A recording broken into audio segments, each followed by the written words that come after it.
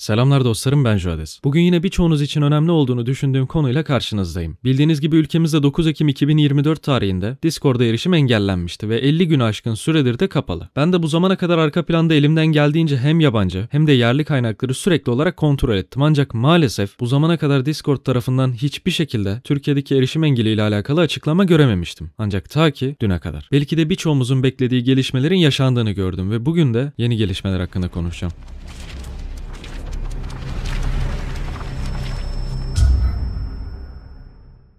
Aranızda hala Discord'un ne olduğunu bilmeyenler varsa ve kısaca özetlemem gerekirse Discord çevrim içi bir sesli iletişim platformu. Bu platform üzerinde arkadaşlarınızla sohbet edebiliyorsunuz, topluluk oluşturabiliyorsunuz veya dilediğiniz herhangi bir topluluğa katılım sağlayabiliyorsunuz. Tabi uygulama bu kadar kapsamlı ve diğer uygulamalardan da daha basit bir arayüze sahip olduğu için son dönemlerde de herkesin tercihi olmuştu. Geçtiğimiz yıllarda da verilerimiz internette paylaşıldığından dolayı bu bilgilerin iyice yaygınlaşmasıyla birlikte maalesef Discord'da dahil olmak üzere birçok platform tehlikeli hale gelmişti. Ancak Discord diğer platformlara nazaran birazcık daha tehlikeliydi. Çünkü dediğim gibi bu platform üzerinde dilediğiniz şekilde gruplar oluşturabiliyorsunuz. Tabi durum böyle olunca Ekim ayında da bildiğiniz gibi birçok bu tarz grup patlak vermişti. Hatta Discord'un içinde yaşanan olaylardan dolayı tutuklananlar falan olmuştu. Tabi sonrasında serbest bırakıldılar. Neyse kısacası o dönemlerde bu gibi sorunlardan dolayı da Discord'a erişim engeli gelmişti. Ha sızdırılan verilerle ilgili ne yapıldı diye soracak olursanız da önümüzdeki birkaç gün içinde bu konuyla da ilgili konuşacağım ve duyduklarınızdan sonra muhtemelen götünüzle güleceksiniz. Discord'a erişim engeli geldikten sonra bakanlık da Discord'un kapatılmasıyla alakalı gerekçe olarak hem Discord'un Türkiye ile herhangi bir veri paylaşmadığını hem de bu platformun çocuklar için güvenli olmadığını göstermişti. Zamanında zaten bu konu hakkında çok fazla video ve çok fazla yayın açtığımdan dolayı birçoğunuz zaten biliyordur ancak gerçekten de en azından Discord'un kendi resmi sitesindeki şeffaflık raporlarına göre bu zamana kadar Türkiye'de dahil olmak üzere birçok ülkeyle veri paylaşımında bulunmamış. O yüzden tekrar söyleyeceğim burayı lütfen iyi dinleyin sonra anlamadan etmeden yorumlarda boş yapıyorsunuz. Günün sonunda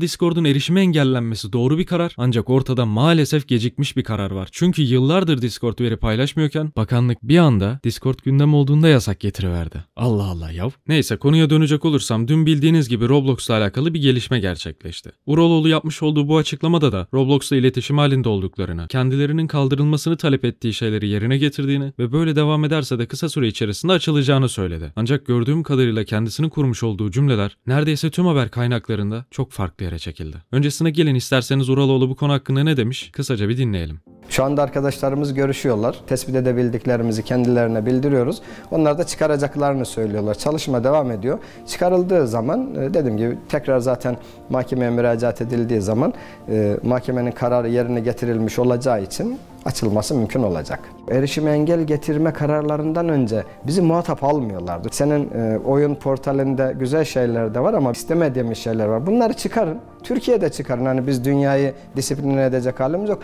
Muhatap almıyorlardı. Şimdi neleri çıkarmamızı istersiniz diye muhatapımızlar. Evet, şimdi gelelim asıl meseleye. Dostlarım izlediğiniz klipte ne gördünüz? Roblox hakkında bakanın yapmış olduğu bir açıklamayı değil mi? Ancak neredeyse tüm haber siteleri bunu almış, Discord Türkiye ile iletişim kurmaya başladı diye başlıklara taşımış. Oğlum bir açıklamayı yanlış anlamak başka bir şey. Bu açıklamayı alıp bambaşka bir platforma uyarlamak yani yuh çok büyük bir algı operasyonu yaparak birçok kişinin hayalini suya düşürdüler. Yani bakanın ağzından çıkan her şey sadece ve sadece Roblox için geçerli. Biz söylüyoruz onlar çıkartıyorlar lafımızı dinliyorlar dediği kısım Discord'a ait değil. Ancak gel gelelim tüm haber kaynakları bunu Discord'la alakalı bir gelişme varmış gibi yansıtmış. Yani oğlum keşke adamın açıklamasını açıp bir sonuna kadar dinleseydiniz. Ha peki Discord ne olacak diye soracak olursanız da onlardan bir ses var mı? Yok. Ne itiraz süreciyle ilgili herhangi bir ufak detay ne de Türkiye ile işbirliği yaptıklarına dair herhangi bir sinyal yok. Hadi diyelim ki bakanın söylemiş olduğu şey Discord'la alakalı olsun. Koskoca platform niye bunu kimseye duyurmadı? İşte bu kocaman bir soru işareti değil mi? Hatırlarsanız Türkiye'de ve Rusya'da Discord'a erişim engeli getirildiğinde Türkiye ve Rusya'daki bağlantı problemlerinin farkındayız diye Discord kendisi resmi olarak bir açıklama yapmıştı. Yani belli ki bu tarz süreçleri gizli yürütmüyorlar. O yüzden bakanın yapmış olduğu açıklamaları sonuna kadar dinlediğim kadarıyla haber kaynaklarının söylemiş olduğu Discord itiraz süreci maalesef hikaye. Ortada Discord'la ilgili ne bir adım var ne de bir açıklama. İnanın sabahtan beri gerçek bilgiye ulaşmak için araştırma araştırmadığım kaynak kalmadı. Bir siteye giriyorum Discord açılıyor diyor. Öbürü diyor Discord Türkiye ile muhatap olmaya başladı. Bir farklı siteye giriyorum Türkiye'nin istediklerini yerine getirmeye başladı falan filan. Yani yuh.